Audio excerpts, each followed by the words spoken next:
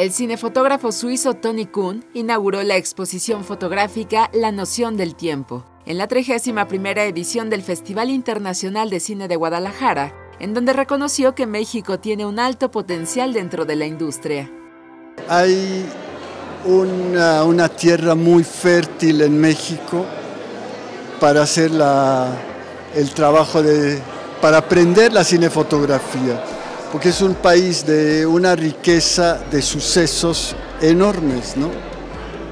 Son muchas cosas que suceden y eso ha formado cantidad de técnicos de primera, ¿no?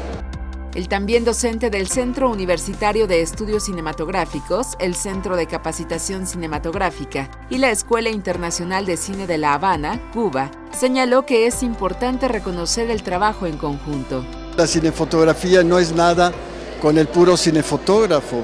La cinefotografía es el tramoyista, es el electricista, es el jefe gaffer, es tu operador. Todos son parte de la fotografía. Ya no hay, ya no hay una persona que hace la imagen, eso es una mentira. Es un equipo que hace la imagen.